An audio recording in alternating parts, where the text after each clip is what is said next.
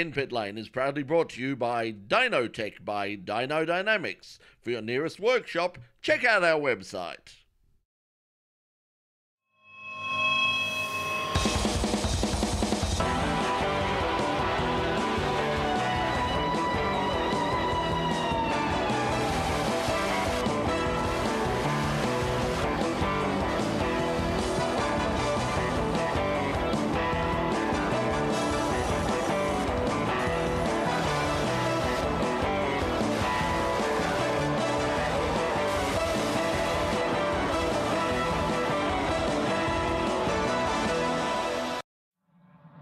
Finding an affordable and fun way to go motor racing is very much the sport's holy grail.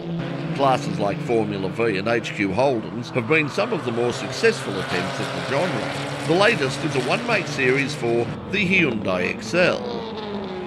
The cars are certainly plentiful with over 44,000 sold in Australia. So, what's the story behind yet another new Australian racing category? This is the uh, new cheap form of motorsport. It's a lot of fun. You can get into it for around six thousand dollars with with a complete car. There's plenty of used cars out there at the moment, or ex-race cars from other states, um, around the same sort of price. It's it's very low budget, very much high fun.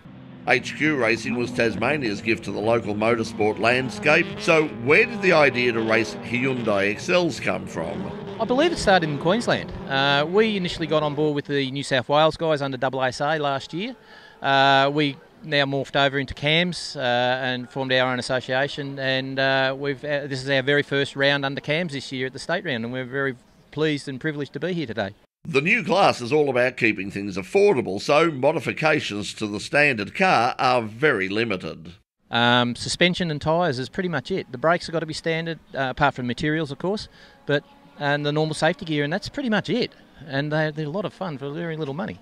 So no modifications to the engine at all?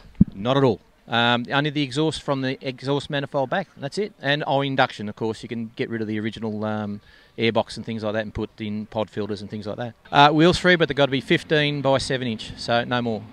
And uh, the tyres are 195 50 15s. So that's it. The tyres are larger and a, a bit wider than the standard.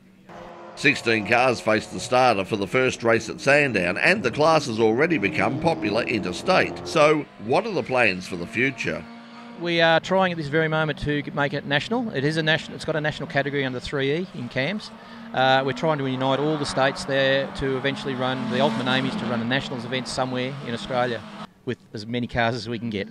So, if the thought of racing Auntie's old shopping trolley appeals to you, and it certainly appeals to me, what's the next step? We have a Facebook site, uh, which is uh, Victorian Excel Racing.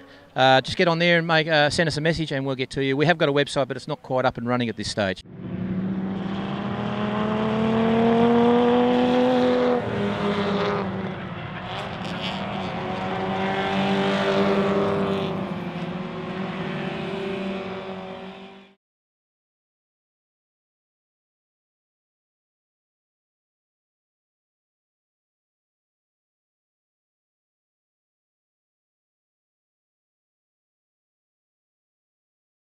More power, better fuel economy, a cleaner, more efficient engine. They're just a few of the advantages of having your car tuned on a Dynotech dyno. To find your nearest Dynotech workshop, go to dyno.com.au. Dynotech by Dyno Dynamics.